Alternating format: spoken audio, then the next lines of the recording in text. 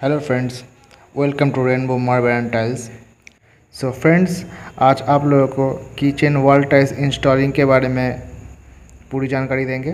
Friends अगर ये video आप लोग को अच्छा लगे तो लाइक करना शेयर करना कमेंट करना।